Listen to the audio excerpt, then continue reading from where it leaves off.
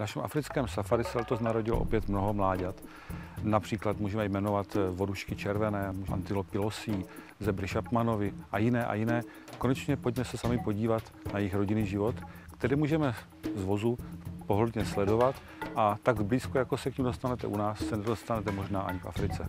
Tohle to je antilopa losí, jedna z největších antilop vůbec v africkém kontinentu. Když se podíváte tady dozadu, tak vidíte, jak ty stromy jsou krásně sestříženy. Není to zahradníky, ale je to právě antilopami losími, kteří tak krásně okusují do výšky, kam dosáhnou. Jsou to zvířata, která konzumují i kopřivy, takže v tomhle výběhu neuvidíte žádnou kopřivu. Jinak jsou to zvířata, která se u nás velice dobře množí a letos se tady narodilo krásných asi 8 mláďat. Tady skupinka mláďat pakoně žíhaného, podruhu pakoně modrého. Vidíte krásná čtyři mláďata. Podruh vodušky velké, voduška jelenovitá, opět mláďata se stádem. A v popředí vidíme zebru šapmanovu, dvě krásná hříbata, která se narodila letos v safari. Jsou to oba hřebečci.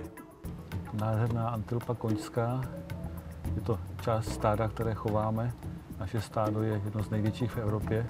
Část stáda je vidět tady v safari a část je v klasické zoologické zahradě. Vidíte, že se zde taky krásně množí, jsou zde dvě mláďata. Mládě pakuně bělocasého je to pakuň, který byl v 30. letech minulého století velice ohrožen a byl na pokraji vyhubení a díky eh, snahám jednak soukromníků a jednak zoologických zahrad bylo toto zvíře zachráněno. Dnes je možné ho vidět i u nás v safari. Domorodý skot vatusy, je to skot zejména východní Afriky. E, tento skot je symbolem majetku tamních domorodců, ceně jako počet žen, za které mohou být směňováni.